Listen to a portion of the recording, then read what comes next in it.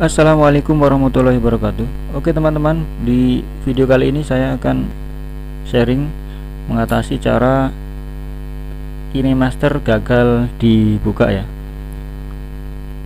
Mungkin di HP-HP kalian yang kalian pakai yang suka dengan edit video aplikasi Kini Master di HP-nya ada yang mengalami kejadian seperti ini. Setelah kita install kita buka lagi tampilannya seperti ini. Mesin KineMaster gagal menginisialisasi.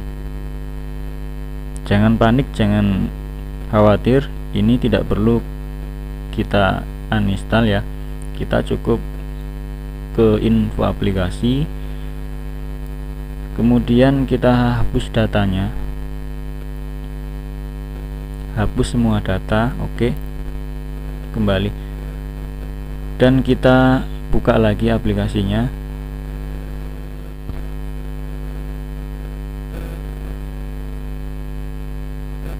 Maka KineMaster yang awalnya error kita bisa membuka lagi dengan normal. Dan video editan yang masih tersimpan di sini di project ini masih ada.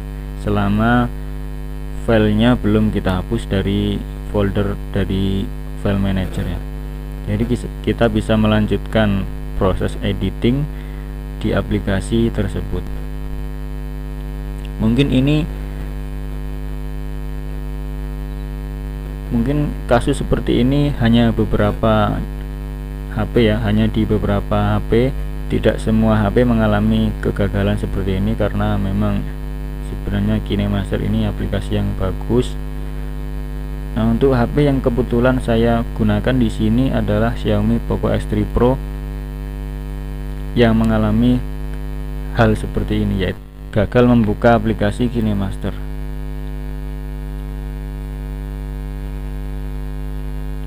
Jadi untuk kalian yang mengalami hal seperti itu, mungkin HP yang lain juga ada kendala seperti itu, tidak perlu di uninstall.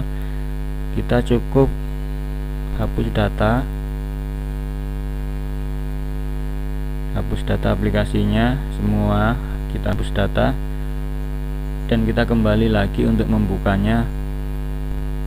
Untuk bisa membuka ke KineMaster seperti di awal kali kita install. Dan itu tidak menghapus editing yang sudah kita kerjakan. Yang mungkin yang belum sempat diekspor itu tidak akan terhapus selama masih tersimpan di file manager ya. Jadi untuk teman-teman yang mengalami hal seperti itu cukup hapus data tidak perlu panik tidak perlu menyalahkan HP untuk cara yang saya temukan masih seperti itu. Belum ada cara yang lain yang lebih simpel. Jadi ya mungkin itu cara yang bisa kalian gunakan. Oke teman-teman semuanya semoga video ini bermanfaat untuk kalian. Terima kasih. Wassalamualaikum warahmatullahi wabarakatuh